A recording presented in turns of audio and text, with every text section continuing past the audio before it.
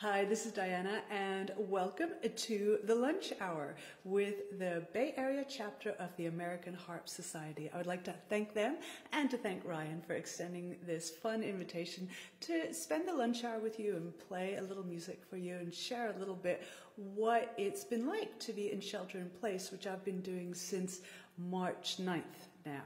So it's been a while because right now, what date is it? Uh, May 19th.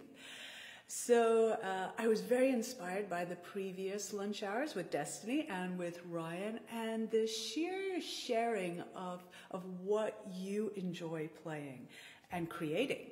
And so I'd like to do the same. I would like to share some pieces with you that are written by other composers. And in particular, they're all going to be women. And they're all going to be women I know.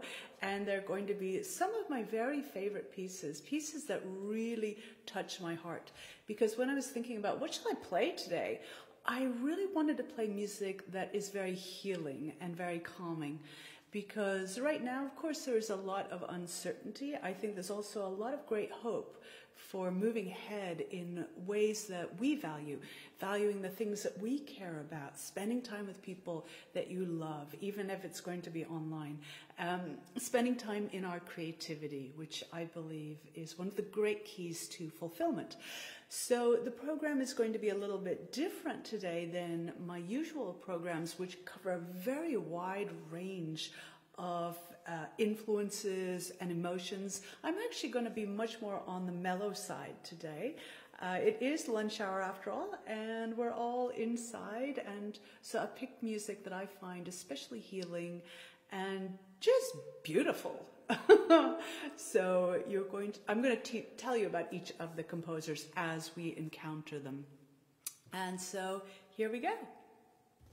The first piece I'd like to share with you today is by Katie Wreede, who is the violist in my beloved quartet Chimera.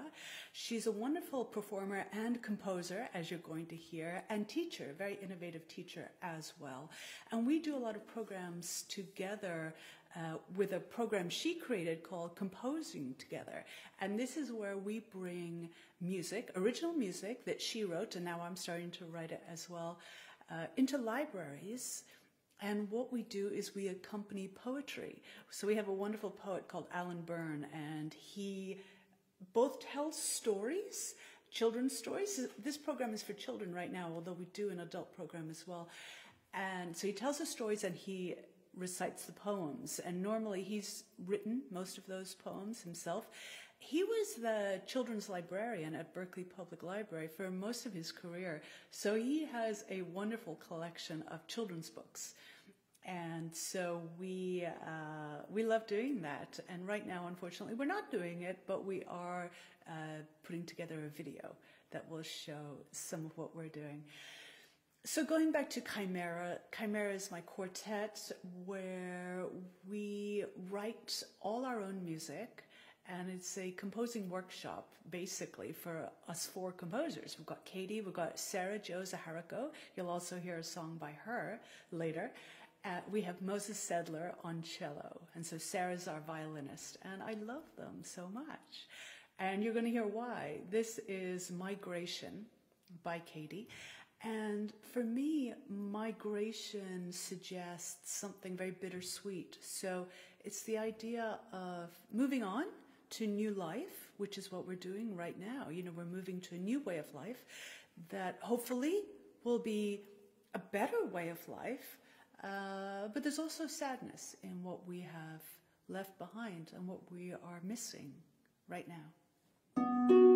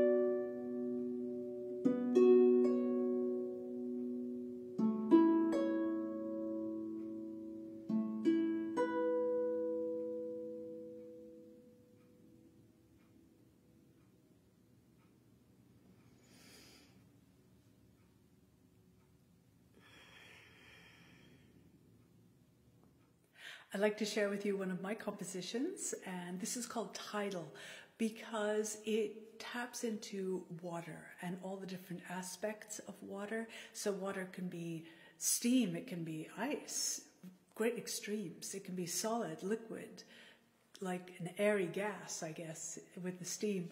So, to me, that really reminds me of artistry and being an artist and all the different emotions that we feel first. That's a stage one. And then we express. And this type of creativity really, I feel, it plays into everything that we do. So as soon as you engage with anything, it could be a conversation, it could be uh, cooking, it could be anything. As soon as you engage in that thing, you transform it, you change it to some degree. And that is creativity in action. So to me, creativity is definitely not just playing music, although I love doing that. Uh, creativity is whenever you directly engage with something. And this makes us feel fulfilled in life. Uh, so, this is a lot what my book is about, The Bright Way. Um, this got released in March, one week before everything hit. And uh, I'll read a little bit out of it later for you um, and give you maybe an exercise or something to work with from it. Uh, I believe everybody is creative, and when we are creative, when we directly engage with something, with anything in life, we feel fulfilled. We feel that life has meaning.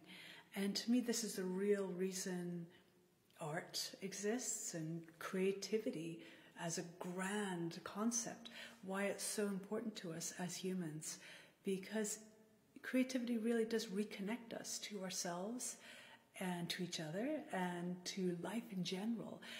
And it makes us feel, yeah, that life has meaning. And I think once we feel it has meaning, even when things are difficult, we feel a sense of fulfillment. And I believe this is what we're looking for. This is what the good life is that the ancient Greeks talked about. You know, they they weren't just talking about having a good time. When they talked about happiness, really their version of it was much more looking like fulfillment. And so here we are, sharing our creativity with each other and feeling fulfilled. So let me play Tidal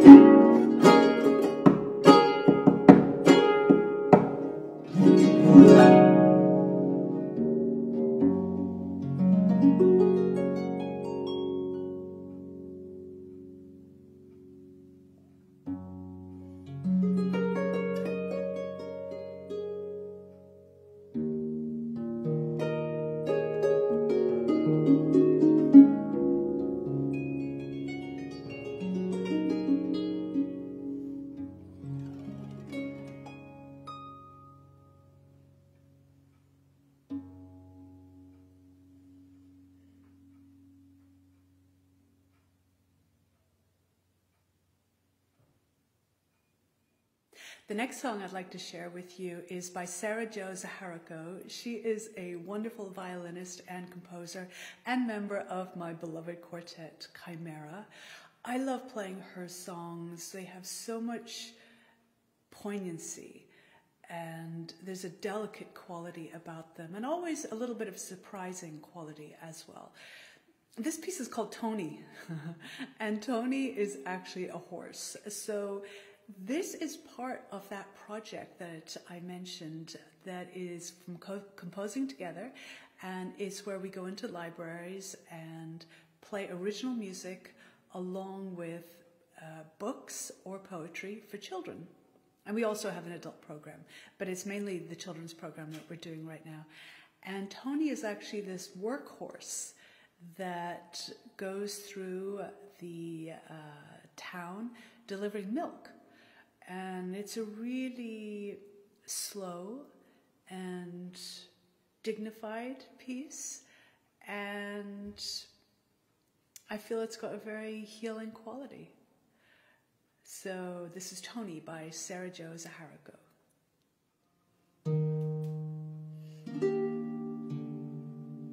The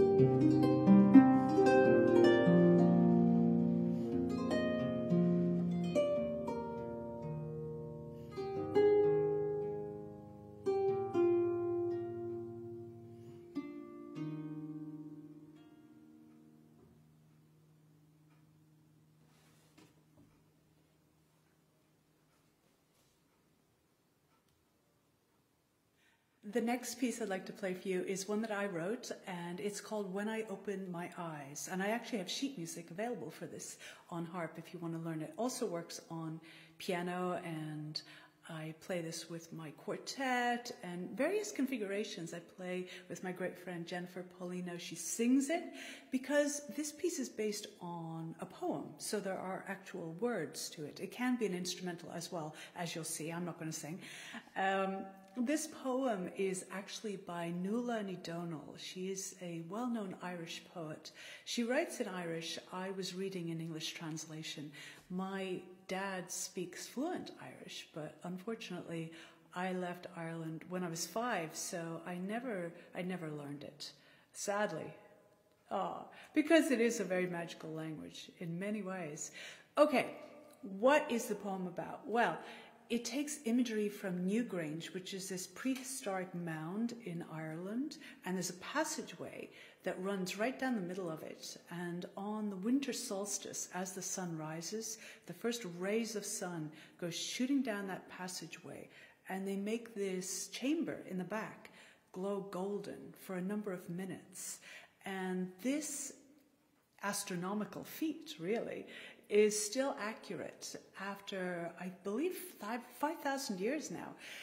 And so in this poem, Nuala takes imagery from this, from Newgrange, and compares it to the start of a new relationship. That excitement, that new relationship energy that builds up, you know, uh, that's what she takes. And so she's bringing together something very, very ancient and then also something very new. And I think that's uh, quite a sign of our times where we're taking and reclaiming many of the things that we've cared about most in society um, art and connection, love, essentially, uh, and really prioritizing those. So, uh, meanwhile, we move forward into a new era. So, I feel like this poem uh, taps into that energy.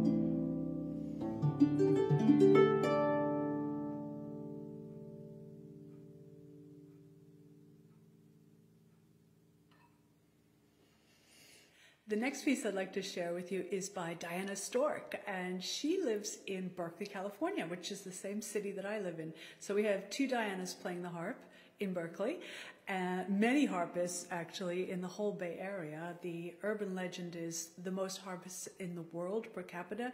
I don't know if this is true, but uh, it seems true to me actually. We have so many different types of harpists around here in this whole area and uh, so many different styles. Whatever you would like to learn, you can find a teacher specializing in that. I remember back when I was doing Virtual Harp Summit a lot, uh, I found Sue, who plays the Burmese harp of all things. Uh, you know, it's wonderful. So it's a really great place to be for harping, as you guys know. So uh, this piece by Diana Stork is called Great Ocean, and it's in honor of the Dalai Lama. She has, Diana has been a practitioner of Tibetan Buddhism for decades, and actually, I, it's funny, nobody ever asks me about this red thread that I have. This one has lasted for a very, very long time. Um, I've gone through many of them. One of my dear piano students uh, went to follow the Karmapa, who is another Tibetan Buddhist leader in India. And she has always brought these back for me, which are personally blessed by him, by the Karmapa. And uh, this one has been lasting extraordinarily long time. And so it's really a privilege to, to have this on my wrist at all times, reminding me of the great principles uh, that Buddhism, amongst other great thought systems and philosophies, uh, embodies. So it's it's something I hold on to sometimes when I need to ground, and it makes me feel good and connected. So I think that's what we really want to feel right now is is connected. I think connection is the ultimate thing that we want in life, feeling connected to ourselves, to each other, to our world around us. And music is an incredible way to reestablish that connection because it really taps into the dimensions beyond words, I feel. Words I love. You know, I I fancy myself a little bit of a wordsmith you know, I've definitely learned a lot having, you know, written written my book. Um, but I have to admit that music touches something that words can't. Uh, and words can communicate things that are more sort of complicated concepts than music can. So, uh, yeah, I think everything has its place and everything feeds each other. So, whatever type of creativity you're involved with, I know many of us are harpists. Uh, but we do other things too, right? And all those things are good and valid and they cross train. So the more that you follow those interests that you have and those passions and inspirations, the more they will feed your harping as well. Uh, so don't feel guilty about having multiple passions and multiple interests. It all, in the end, is for the same purpose, I believe. So here is Great Ocean by Diana Stork. I feel like she writes uniquely well for the harp. She really brings out the strength that the harp possesses, the beauty and the power, and everything that she writes falls in the hand really, really beautifully. So definitely check out her works. She has loads and loads of compositions and books, and I recommend them all the time to my students and for myself as well, as you can see. So here comes Great Ocean by Diana Stork.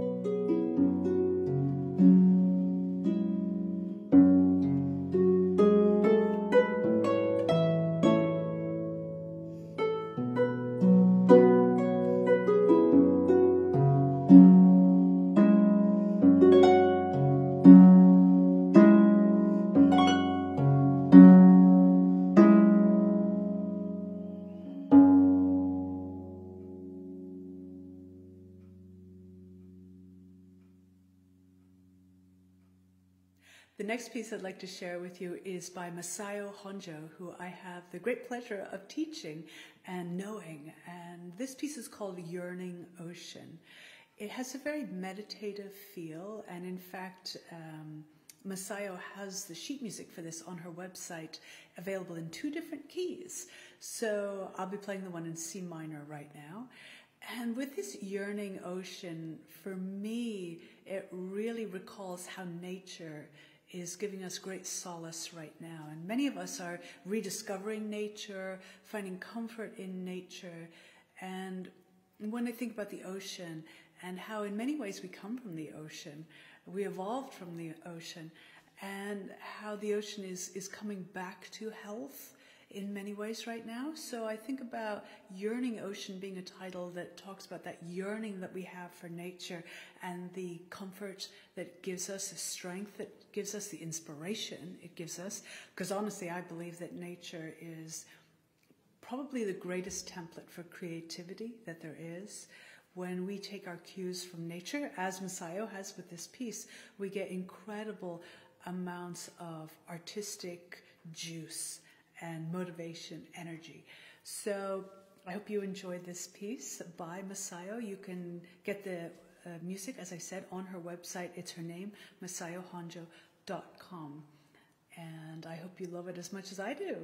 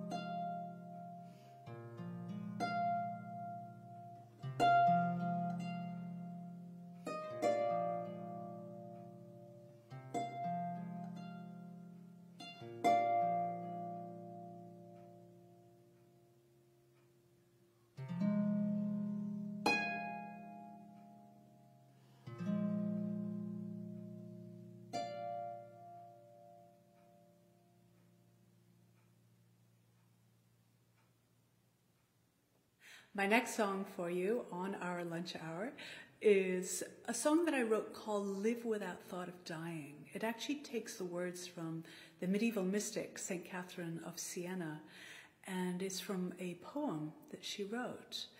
And the words are Live without thought of dying, for dying is not a truth. And I really recommend you go online and find the rest of this poem. It sounds so modern even though it was actually written in the Middle Ages. And it's a song that, it's a poem that I feel again offers great comfort. And I had uh, the amazing experience of sharing this song um, with one of my friends and collaborators, with Jennifer Polino, and she taught it to one of her vocal students. And so they were singing the words, and the student's little son who was, I think, five or six years old at the time, so this happened last year, uh, he heard her singing these words over and over again. And he said to his mom, You know, I was always so afraid of dying, but now I hear the song, I'm not afraid anymore. Uh, it really is an amazing poem. So uh, go and find it. Um, a woman poet, much like Nuala Ní Dhomhnaill, a woman poet. Uh, we're very much having a, a female hour here. And it's not so much just about the female sex, but more about the idea of yin energy, receptive energy.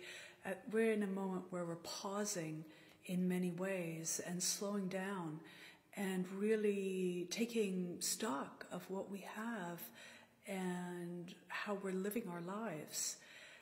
And I feel this kind of energy is very much what we call the feminine energy. Now, that's again not to do with your sex, it's to do with a yin and yang type of energy. And so we've been involved for decades, centuries really, with very yang energy, millennia. Um, and there's great beauty to that energy, no doubt about it. I'm a fan of yang energy. However, we've been out of balance, I feel. And so bringing back the yin energy, that very creative, fertile, mysterious, non-linear type of energy.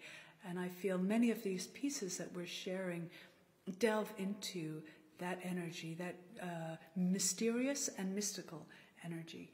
So here is Live Without Thought of Dying, and again inspired by the words of St. Catherine of Siena. Thank you.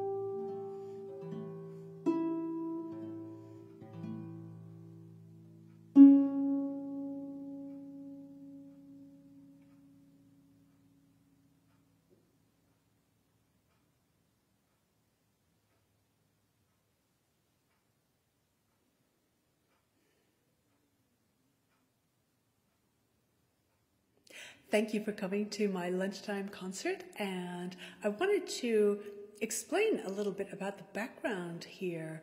I know most of you are familiar with the, the gold fan. There it is. And everything has changed actually in this house. So, what happened? Um, my book came out, and then lockdown happened a week later, and everything had been canceled like all my book tour, everything.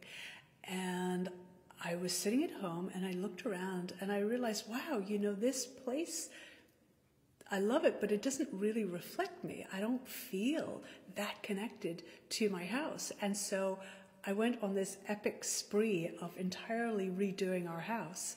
And the first thing I wanted to pick were colors that really resonated with me.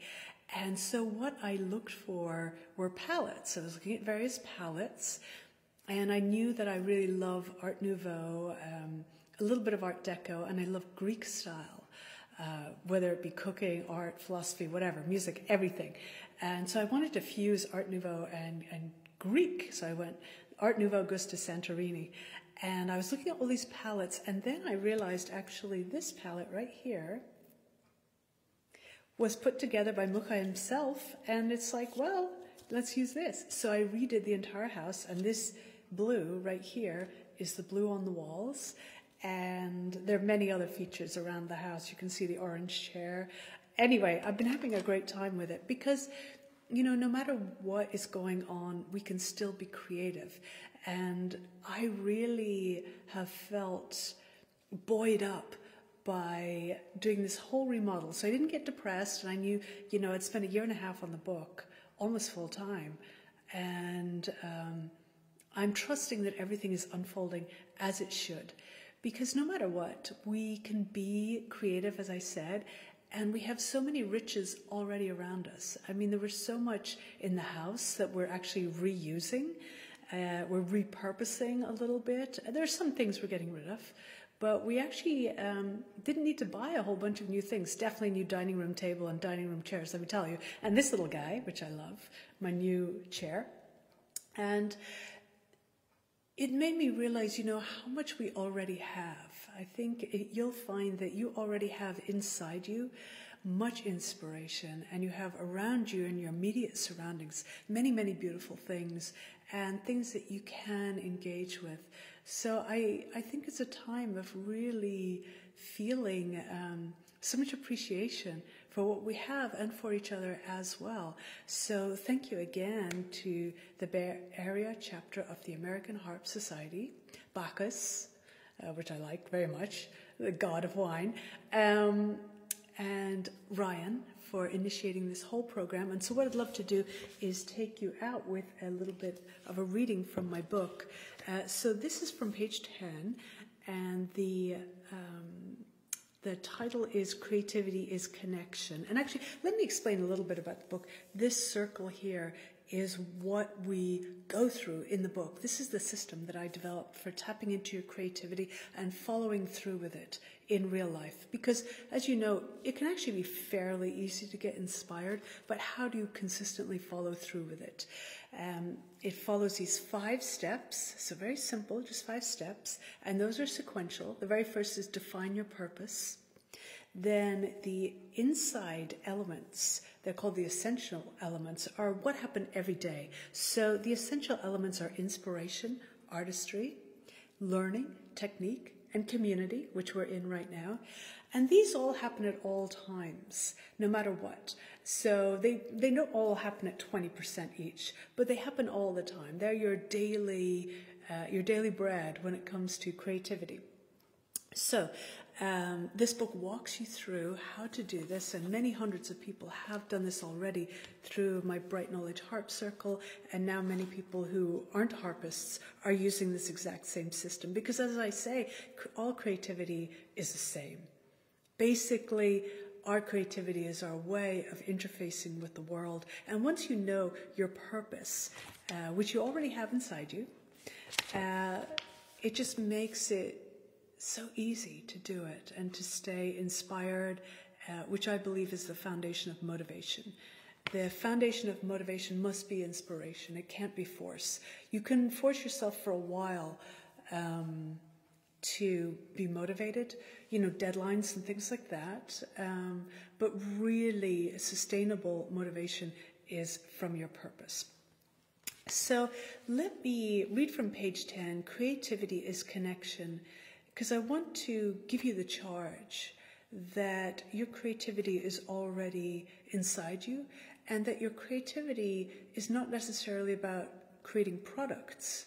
So right now, you know, we have sort of a product in that I did this concert, but really it's process that made it all possible. So just living a creative life makes this kind of thing possible. So when you create, you connect. As you engage with your chosen activity, you become one with it.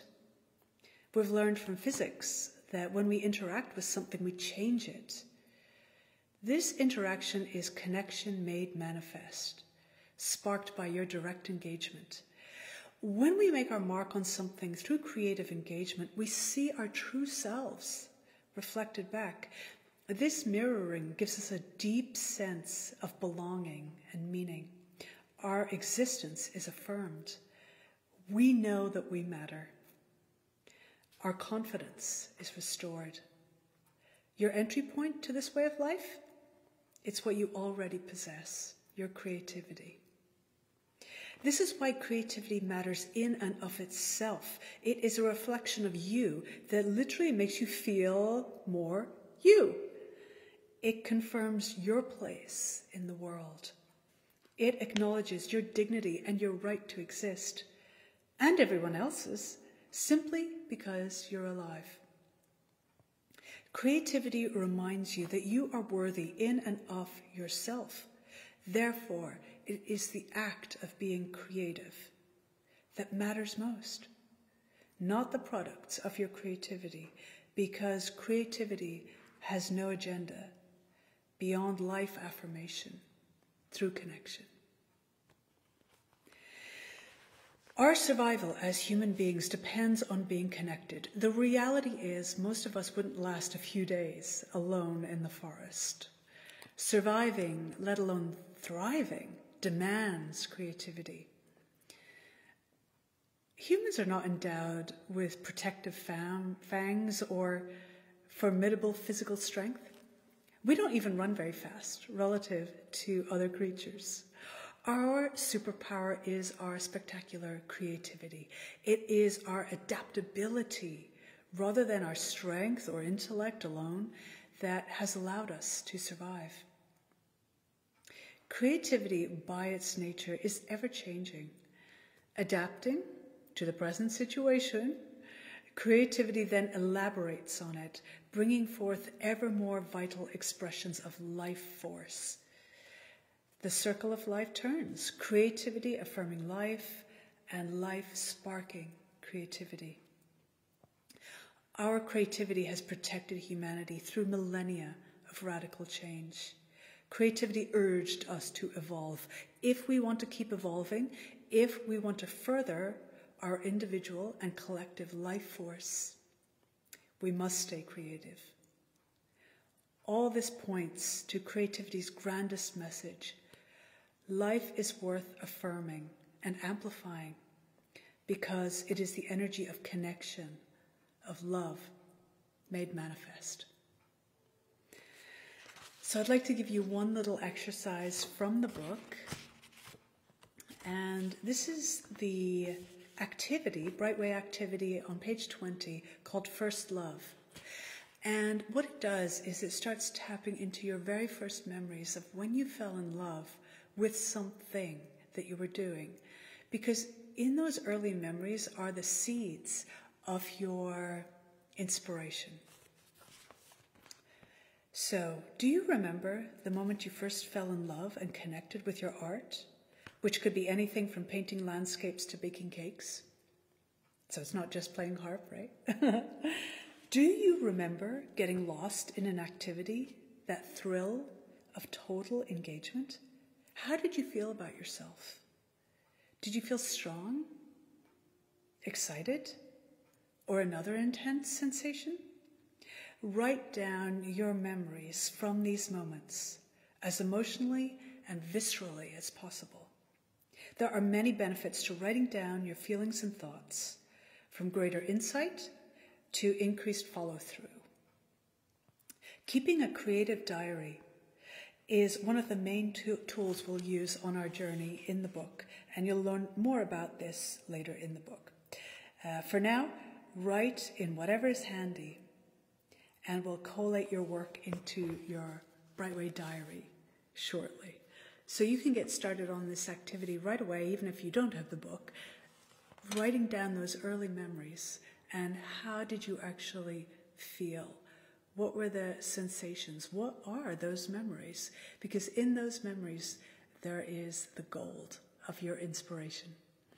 So thank you for spending your lunch hour with me. And do tune in for the lunch hours coming up. We have an amazing lineup because we are so lucky in the Bay Area to have incredible harpists. And yes, keep on being creative. Let me know your comments and I'm excited to continue the conversation with you. Thanks again to Bacahs and to Ryan. And yeah, keep being creative, keep being connected.